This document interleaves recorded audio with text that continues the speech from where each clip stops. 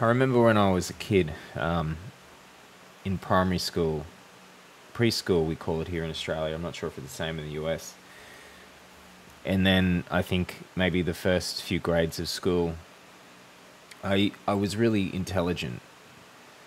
Um, I just remember, you know, being the first to be able to read and and getting sent to the principal's office to, um, because because I uh, succeeded in these ways that, that other people didn't, and um, you know, getting get lollies off the principal and stuff like that. But anyway, I'm, I'm not saying this to to make you think positively of me. I'm just saying this to make a point, which is I remember kind of naturally being able to grasp concepts very quickly. But then as I grew older, slightly, maybe maybe in the next couple of years, maybe grade four and five when I was about nine or ten, I remember things getting a little bit more difficult for me which naturally, of course, that's the nature of school, is that each year gets more and more difficult. And a lot of people said I was smart, I'm so gifted, or I was so smart that I have a gift, and, and things like that. And then, as, because of this belief that there is this, that I had this gift or this nature, and as soon as something became challenging for me, I kind of just gave up, especially when it came to more um, school related subjects like, you know, maths and science and all that stuff. When it didn't come easy, I just gave up, and it was because obviously there's multiple reasons, but I can see the main reason being that people told me I was gifted and I believed it. So as soon as something was difficult, I thought, oh, you know, I mustn't be gifted in that, so I would let it go. So I had this very solid state sense of self that I magically had this gift and that this gift makes everything easy and I don't need to work for it. And if I need to work for something, it means I shouldn't do it. And yeah, and I think hadn't I formed this magical self concept I would have been a lot more successful in, in a lot of the, the basic school subjects that I had.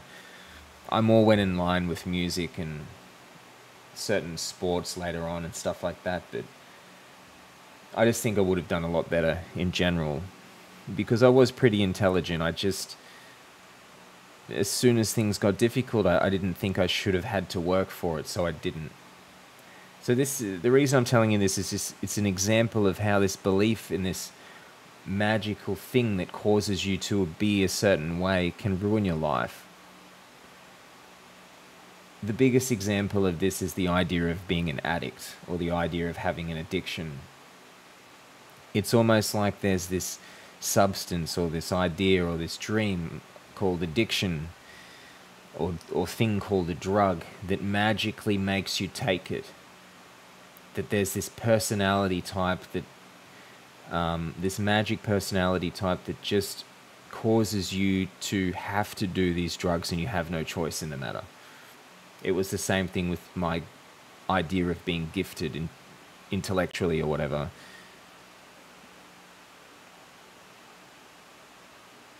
It's not true. It's all choice. We choose to see ourselves a certain way we choose to use every single drug, every single addictive activity that we do, we choose every one of them. I chose to not work because of ideas I had, work hard on learning because of ideas I had and, and in some way was influenced to, to, to have um, about myself. There is no gifted there is no addictive personality. There is no addictive drug. There is just choices. And in each moment, we make a choice based on our concept of reality and based on our want to be happy. We will always choose the thing that's going to make us happiest, whether it's in the moment, whether it's in the future, whatever. I chose to not work hard at school at certain things because that was the better choice. Because I knew I had this gift and I just wanted to rely on the gift and I didn't want to have to work hard. That was the happier option for me.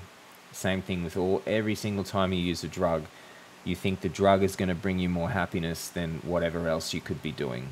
Working, making money, creating something, exercising, working on relationships, doing something you fear, whatever it is, you're choosing to do the drug.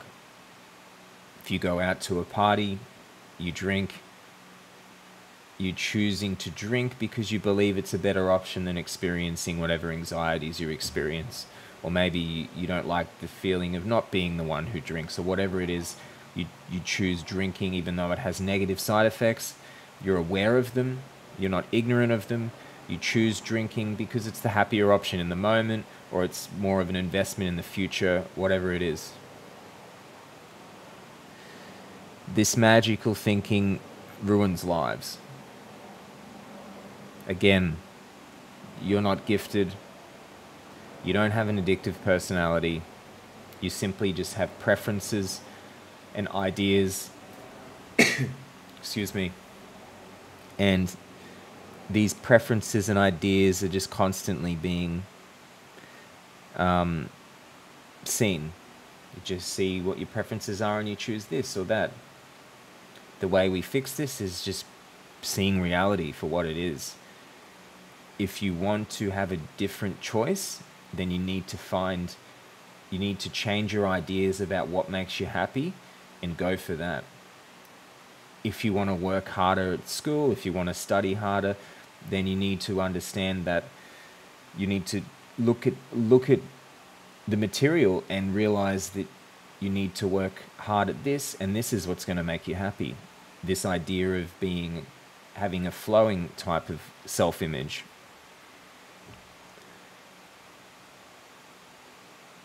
if if another person can do it so can you and the reason you're not doing it is because you're just choosing choosing the option that you think is going to make you happiest.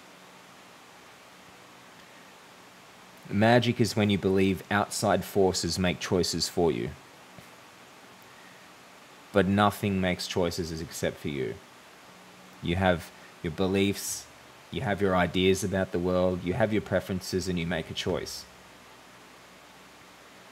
If you see yourself as unlimited, then the choices can change but in seeing yourself as being influenced by magic, by some magic substance or idea that forces you to choose a certain way, you create a limit. You create a block in the way you think and the way you are. To remove this, you need to see happiness elsewhere. It's a positive process. You're not running away from what's negative, you're choosing what's going to make you happiest that may be to continue doing what you're doing, and that's fine. For me, it wasn't. I needed to start to see myself as not gifted, and I needed to start to see myself as able to learn, and that this painful process of learning, because learning can always, always has an element of discomfort to it, is happiness for me. This is where I find happiness, challenging myself, changing my ideas, learning difficult things that feel impossible. That is where I find my happiness. I'm not going to find my happiness by not doing those things and relying on my magical, uh, my magical, gifted personality trait. So I hope that clarifies things in my life. This idea of magic influencing me from outside has ruined parts of my life in a sense but I see it very clearly now.